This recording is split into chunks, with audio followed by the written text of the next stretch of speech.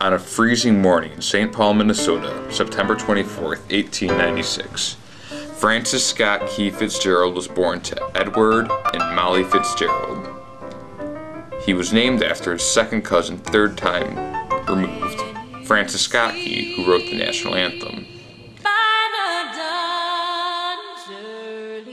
Both the Fitzgerald's parents were Catholic, but came from different backgrounds.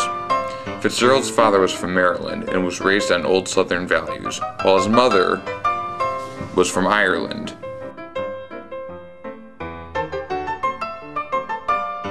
Fitzgerald's father failed as a salesman and as a furniture maker, but the family lived comfortably in wealth from a small inherited fortune.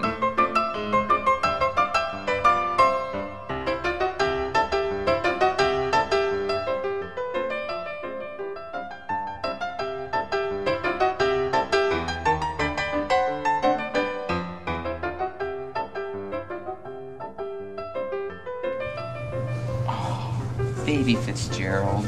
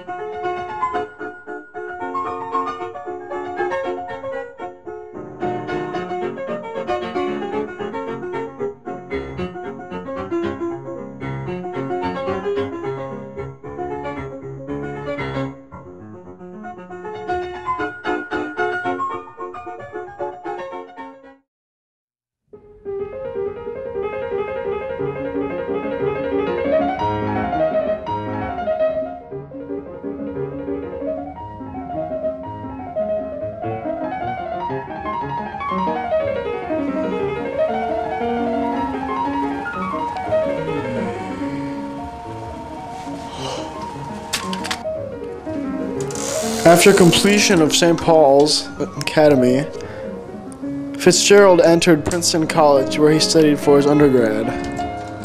It was here he soon developed his nasty addiction to alcohol, which would continue to plague him over his lifetime and his writing career.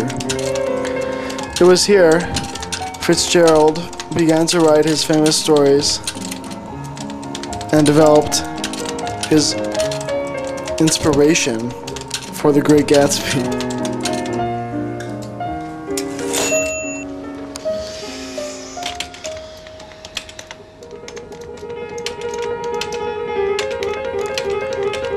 As bad health, low grades, and continuing alcoholism, Fitzgerald found himself in tough times and decided he would quit Princeton and join the army.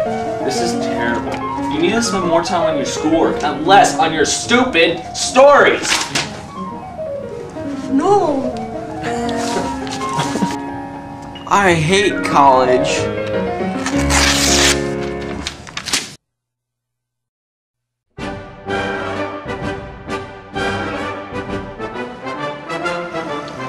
I'm ready to join the army, sir. Where's your gun? Welcome to the army.